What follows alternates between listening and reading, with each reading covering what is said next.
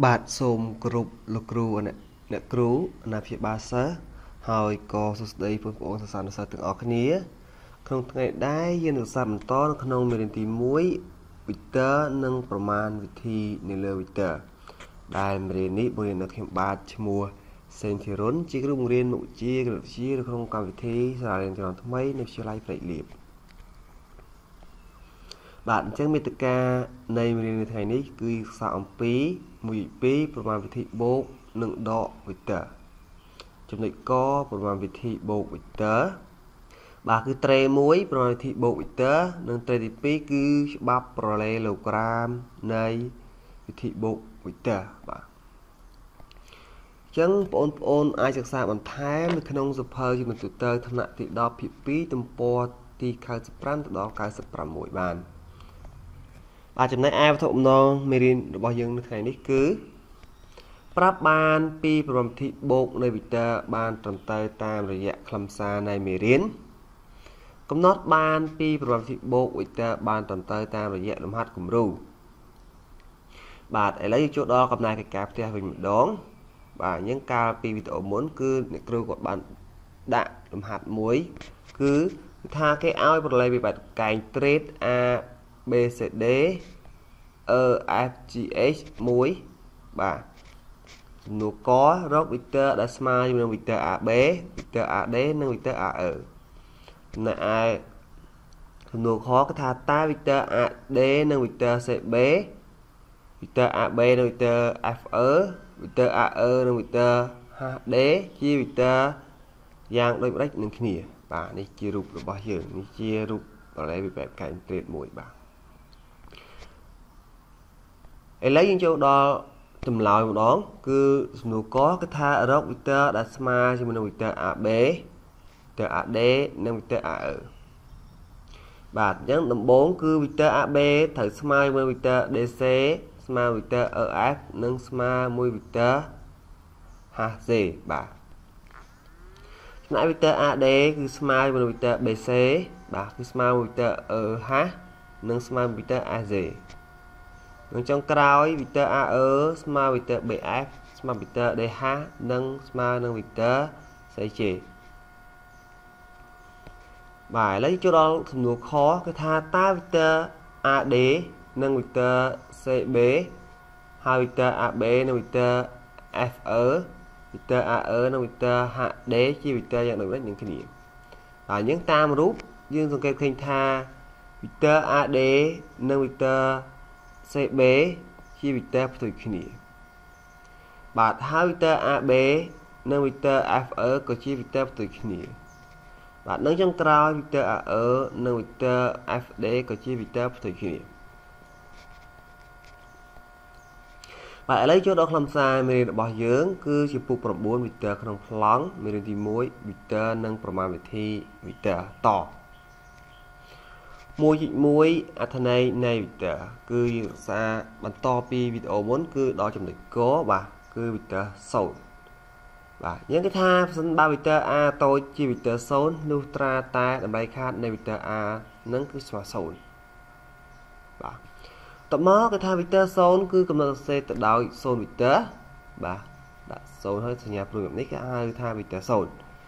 អត់យើងឧទាហរណ៍ថាវីទ័រ AA ក៏ជាវីទ័រ0វីទ័រ BB ក៏ជាវីទ័រ0ចុចចុចចុចហោហាយច្រើនទៀតបាទអញ្ចឹងខ្លឹមសារវីទ័រ0គឺមានប៉ុណ្ណឹងបាទអញ្ចឹងឥឡូវយើងចូលដល់1.2ប្រព័ន្ធវិធីបូកនិងដកនៃវីទ័របាទចំណុចកប្រព័ន្ធវិធីបូកវីទ័រត្រេ1ប្រព័ន្ធវិធីបូកនៃវីទ័រឧទាហរណ៍បុរសម្នាក់បានដើរចេញពីចំណុច A ទៅទិសខាងកើតដល់ចំណុច B ដែលមានចម្ងាយពី A ទៅ B ហ្នឹងគឺ4គីឡូម៉ែត្របាទបន្ទាប់មកគាត់បានបន្តដំណើរទៅទិសខាងជើងដល់ចំណុច C មួយទៀតដែលបានចម្ងាយ3គីឡូម៉ែត្រមានន័យថាពី B ទៅ C គឺស្មើ3គីឡូម៉ែត្រហើយគាត់សម្រាកនៅទីនោះជាងគេថាបំលាស់ទីពី A ទៅ C គឺជាផលបូករវាង បាទវិទ័របំលាស់ទី AB និង BC អញ្ចឹងគេកំណត់សរសេរទៅដោយបាទ វិទ័រ AB បូកវិទ័រ BC គឺស្មើនឹងវិទ័រ AC បាទអញ្ចឹងទៅមើលយើងដំបូងយើងចេញពី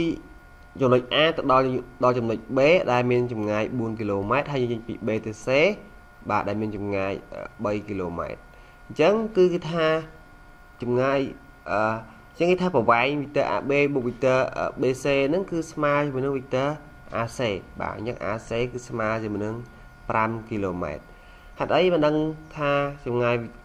ពី A ទៅ C គឺស្មើ5គីឡូម៉ែត្របាទអញ្ចឹងគឺយើងទៅមើលចម្លងរបៀបធ្វើរបស់វាបាទយើងគេថាសម្គាល់គឺតាមទិសដីបត់ពីតកគេអាចរកចម្ងាយ AC ដូចខាងក្រោមបាទអញ្ចឹងយើង nói ថាដោយសាររូបមិញគឺជាត្រីកោណកែងបាទកែងត្រង់ B អញ្ចឹងយើងអាចអនុវត្តទៅបត់ពីតកបានបាទ អញ្ចឹងគឺ AC ដែលស្មើជាមួយឬការ៉េនៃ4ការ៉េបូក3ការ៉េបាទដែលស្មើជាមួយនឹង5គីឡូម៉ែត្របាញ់មិញបាទអញ្ចឹងដូចនេះគេថាតម្លៃខាតនៃវិទ័រ AB បូកតម្លៃខាតនៃវិទ័រ BC គឺត្រូវតែធំជាងតម្លៃខាតនៃវិទ័រ AC បាទឥឡូវចូលដល់ជាទូទៅគេថាបើគេមានវិទ័រ2គឺវិទ័រ AB និងវិទ័រ BC នោះផលបូករវាងវិទ័រ AB និងវិទ័រ BC គឺ AC បាទដែលកំណត់សរសេរដោយវិទ័រ AB បូកវិទ័រ BC គឺស្មើជាមួយវិទ័រ AC បាទឥឡូវយើងចូលដល់ត្រីបន្តិចគឺច្បាប់ប្រឡេឡូក្រាមនៃវិធីបូកវិទ័របាទអញ្ចឹងគេមានវិទ័រ2គឺវិទ័រអាតូចនិងវិទ័របេតូច ថាតាមចំណុច A ណាមួយគេសង់វិទ័រ AB ដែលស្មើជាមួយវិទ័រ A តូចហើយវិទ័រ AC ដែលស្មើជាមួយវិទ័រ B តូចតបមកគេសង់បំពេញឲ្យបានជាប្រឡេឡូក្រាម ABC D1 បាទនេះជាដើមយើងមើលយើងមាន A តាណាមួយដែលសង់ទៅដល់ចំណុច B ដែលមានស្មើជាមួយវិទ័រ A តូចហើយនឹងពី A ទៅ C ដែលស្មើជាមួយវិទ័រ B តូច តបមកគេសងយ៉ាងណាឲ្យបានគីឡូក្រាមមួយមានន័យថាត្រូវបន្លាយឲ្យស្របជាមួយនឹង AB ទៅបាទហើយនេះគឺបន្លាយស្របជាមួយនឹង AC ទៅបាទយូរគឺបានរៀងវាជាប្រឡេឡូក្រាមមួយ D បាទតបមកយើងគូសវាទៅចេញជាអង្កត់ទ្រូងរបស់ប្រឡេឡូក្រាមរបស់យើងនឹងគឺវិទ័រ AD បាទដែលខ្ញុំទៅតាំងដោយចំណុចសេតូច បាទយើងគេបានវីទ័រ AB បូកវីទ័រ AC បាទគឺស្មើជាមួយនឹងវីទ័រ AB បូកជាមួយនឹងវីទ័រ BD បាទពីព្រោះវីទ័រ AC គឺស្មើជាមួយវីទ័រ BD វីទ័រ AB បូកវីទ័រ AC គឺស្មើវីទ័រ AD បាទឬក៏វីទ័រ A បូកវីទ័រ B គឺស្មើជាមួយនឹងវីទ័រ C បាទអញ្ចឹងជាទូទៅគេថាបើគេមានវីទ័រ2គឺវីទ័រ AB និងវីទ័រ AC ដែលមាន A ជាគោលរួមនោះផលបូករវាងវីទ័រ AB និងវីទ័រ AC គឺយើងប្រើតាមអង្កត់ទងរបស់ប៉ាឡេឡូក្រាមគឺចេញមកគឺជាវីទ័រ AD បាទនេះមួយឧទាហរណ៍គេថាសង់វីទ័រផ្គួប F វីទ័រនៃវីទ័រ F អងនិងវីទ័រ F ដឺបាទយ៉ាងនេះរូបរបស់យើង គឺរូបនេះគឺ F ដឺហើយបាញ់ខាងលើគឺជាវីទ័រ f អងដែលមានគល់រួមអញ្ចឹងគេសួរថាតើវីទ័រប្រគំរបស់វាគឺស្មើប្រមាណបាទអញ្ចឹងយើងមើលចម្លើយរបស់វាយើងយើងមានវីទ័រ f អងបាទនិងវីទ័រ f លើបែបនេះយើងដឹងហើយតើតាមច្បាប់ប្រឡេឡូក្រាមប្រសិនបើវីទ័រ2នឹងមានគល់រួមយើងត្រូវបន្លាយឲ្យចេញប្រឡេឡូក្រាមមួយបាទអញ្ចឹងត្រូវទម្លាក់ចំណោលកែងបាទយើងត្រូវគូសឲ្យស្របជាមួយនឹង f ដឺ តមកខាងក្រោមនេះយើងទៅគូឲ្យស្របជាមួយ f អងយើងយើងទម្លាក់អង្កត់ទ្រូងទៅយើងទទួលបានអង្កត់ទ្រូងប្រឡេឡូក្រាមហើយបាទអង្កត់ទ្រូងប្រឡេឡូក្រាមនឹងគឺជាវិទិបគូបបាទឯងតាំងដោយ f អងបូកជាមួយនឹងវិទិប f ដឺបាទឥឡូវយកដល់លំហាត់ពង្រឹងពុទ្ធិវិញម្ដងលេខ1គេថាគេធានាផលបូកវិទិប mn បូកជាមួយនឹងវិទិប np ហើយបូកជាមួយវិទិប p គុយ បាទអញ្ចឹងយើងមានពេល20វិនាទីសម្រាប់បងប្អូនគិតពិចារណាទៅលើវិធានបទមួយនេះបាទហើយគូក៏មានចម្លើយ4សម្រាប់បងប្អូនធ្វើការជ្រើសរើសផងដែរបាទគឺចម្លើយកគឺអំប៉េបាទមានន័យថាវិទ័រ MN បូកវិទ័រ NP បូកវិទ័រពេកុយគឺស្មើវិទ័រអំប៉េបាទហើយសំណួរខបាទហើយចម្លើយខគឺវិទ័រអង្គុយប ចម្លើយកគឺវីទ័រពេគុយនិងចម្លើយខគឺវីទ័រអិនគុយបាទយើងយើងដឹងហើយថាដើម្បីគណនាផលបូកវីទ័រខាងលើបានយើងត្រូវដឹងថាតើវីទ័រខាងលើនេះជាផលបូករបស់វីទ័រអ្វីវីទ័រមានគោលរួមឬក៏ផលបូករបស់វីទ័រតគ្នាបាទអញ្ចឹងយើងមានពេល20វិនាទីសម្រាប់បងប្អូនធ្វើការគិតទៅលើប្រធានបទមួយនេះអញ្ចឹងយើងចូលរួមគិតទាំងអស់គ្នា ចាប់ផ្ដើម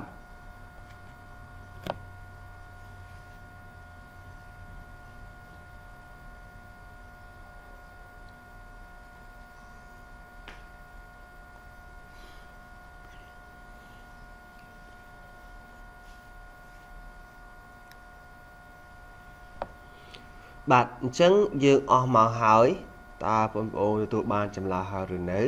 បាទចម្លើយបងប្អូនទទួលបានគឺកខកឬខ បាទអញ្ចឹងយើងទៅផ្ទៀងផ្ទាត់ចម្លើយទាំងអស់គ្នាបាទដូចនេះចម្លើយដែលត្រឹមត្រូវគឺអង្គុយបាទមានន័យថាផលបូករបស់វីទ័រ mn បូកជាមួយវីទ័រ np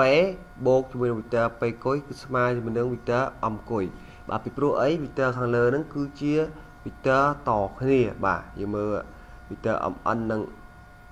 np នេះគឺមាន n ជាចុងខាងនេះគឺមាន n ជាគុលហើយវី ទ័រ np និង p គុយក៏ដូចគ្នាដែរគឺមាន p ជាចុងនិងមាន p ជាគុលរបស់វីទ័រខាងនេះវិញបាទអញ្ចឹងផលបូករបស់វីទ័រយើងគឺចេញមកគឺ p គុយឥឡូវយើងដល់លំហាត់ប្រតិបត្តិទី2គឺគេឲ្យកណនីផលបូករបស់វីទ័រដែរគឺវីទ័រ AB បូកជាមួយវីទ័រ CD និងបូកវីទ័រ CB បាទយើងក៏មានពេល20វិនាទីសម្រាប់បងប្អូនក្នុងការជ្រើសរើសផងដែរគឺកបាទសា AC បាទចេញមកវីទ័រ AC ខវីទ័រ BC និងកវីទ័រ AD ចំណែកខគឺវីទ័រ BD បាទអញ្ចឹងយើងមានពេល20វិនាទីសម្រាប់បងប្អូនធ្វើការគិតពិចារណាទៅលើប្រធានបទនេះអញ្ចឹងចាប់ផ្ដើមគិតទាំងអស់គ្នាចាប់ផ្ដើម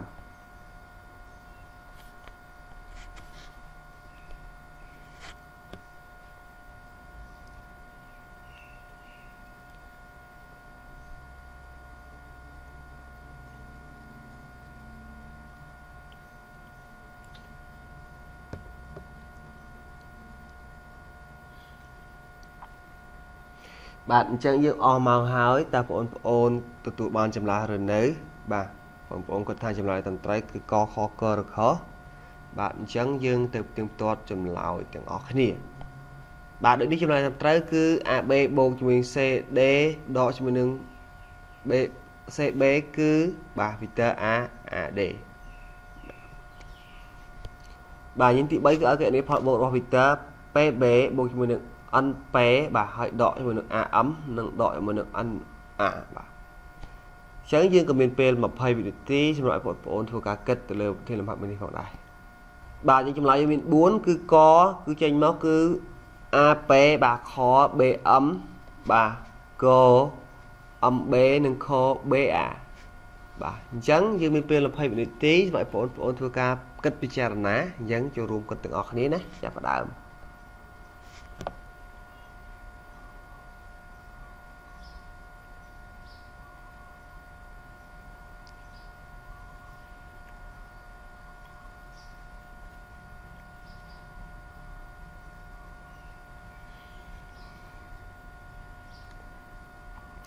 បាទអញ្ចឹងយើងអស់ម៉ោងហើយតើបងប្អូនទទួលបានចម្លើយហើយឬនៅបងប្អូនគិតថាផតបូករវាងវីទ័រ PB បូកជាមួយនឹង NP ដកជាមួយនឹង AM ដកជាមួយនឹង NA នេះគឺស្មើវីទ័រណាដែរបាទអញ្ចឹងគឺយើងទៅបន្តចម្លើយទាំងអស់គ្នាណាបាទអញ្ចឹងចម្លើយត្រឹមត្រូវគឺកវីទ័រ MB បាទជាចុងក្រោយលោកគ្រូក៏មានលំហាត់កិច្ចការផ្ទះសម្រាប់បងប្អូនធ្វើការគណនាផងដែរបាទ គឺគេឲ្យប្រឡេវក្រាម NN MN ពេគុយបាទនឹងមាន I ជាចំណុចប្រសពវាអង្កត់ទ្រូងបាទដូចរូបបាទតមកគេឲ្យចូលរកវីទ័រដែលបាទកស្មើនឹងវីទ័រ MI ឲ្យបាន5វីទ័រខុសគ្នាបាទចំណែកខគឺស្មើវីទ័រគុយ n ឲ្យបាន5វីទ័រខុសគ្នាផងដែរបាទនេះគឺជារូបរបស់យើងមានន័យថាគេឲ្យ parallelogram បាទ mn ពេលគុយបាទ mn ពេលគុយដូចរូបហ្នឹងនឹងមានអាចជាមួយប្រសពចំណុចនេះគឺចំណុចប្រសពបាទរវាងអង្គត្រង់ទាំងពីរតមកគេឲ្យរក vector ដែលស្របជាមួយនឹងបាទក៏ឲ្យរក vector ដែលស្មើជាមួយ vector mi បាទនៅ vector mi បាទតើស្មើប្រហែលរកឲ្យបានទាំងអស់5 vector ខុសគ្នាហើយស្មើនឹង vector គុយ n បាទគុយ n ឲ្យបាន5 vector ខុសគ្នាផងដែរបាទ បាទអញ្ចឹងអរគុណច្រើនលោកគ្រូអ្នកគ្រូអនាព្យាបាលសិស្សហើយក៏អរគុណដល់បងប្អូនសាស្ត្រសិស្សទាំងអស់គ្នាដែលបានតាមដានទស្សនាវីដេអូមួយនេះតាំងពីដើមរហូតដល់ចប់យើងនឹងជួបគ្នាវីដេអូថ្មីបន្តទៀតអរគុណច្រើន